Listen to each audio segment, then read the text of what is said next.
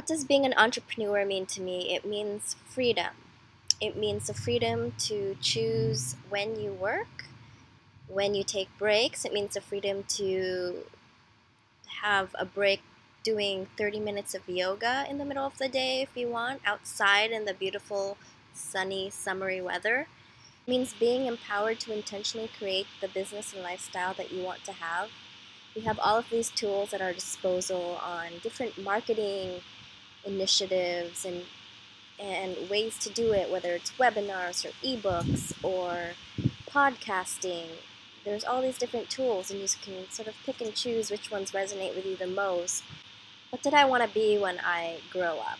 I had three things in mind. So I was very multi passionate starting from a young age. I wanted to be an author, a teacher, and an artist. And I think my path is leading me towards these things because I have artists with my design background and I am a writer. I'm currently writing my first book, which I'm going to self publish on Amazon by next year.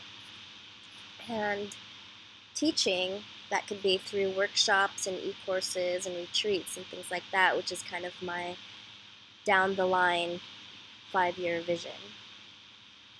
And I also thought it would be my dream job to work online when I turned 13. I was just obsessed with the internet and building web pages and learning about HTML back in the day. And I just thought if my job could be working online, I would just love that. And I kind of consider myself a visionary because I feel like at that point in time in the early 90s, or I mean late 90s, sorry, I'm not that old, um, I don't think that working online was even really a thing that you could do. But now it is, and I'm really happy to be a part of it. I decided to be self employed when I was in my quarter life crisis. Basically, I was in a rut and I didn't like my nine to five job. Was working at a print shop, and it was just kind of this low level graphic design, not even graphic design, but production, or it just didn't feel like I was utilizing my design skills as I knew that it could be taken. And and I just had this inkling of wanting to work for myself, but being really afraid to do it. And I was living in a really small town of 10,000 people, so it didn't really feel like very conducive to working for myself because it wasn't a very big network. Like, oh, I don't live in a city, so how's this going to work? Um, but I decided to just take the plunge by the time I was like 26 and um, first took a career break, a one year career sabbatical to Southeast Asia, and then sort of had this like intentional poverty situation for a couple years while I grew my business, and now I'm working towards intentional abundance. Who inspires me? I think it's hard for me to answer that question because I don't like to necessarily have heroes. I think that I would li- like to be my own hero and just, you know, have that as as setting the bar. I don't try try not to compare myself to others because I feel like that doesn't really you know help help you grow and, and become better. It just makes you jealous and like stuck in where you're at. So I think my heroes would just be like the Buddha and Jesus and all of those spiritual masters back in the day and I just take those learnings into my everyday life and try to apply it.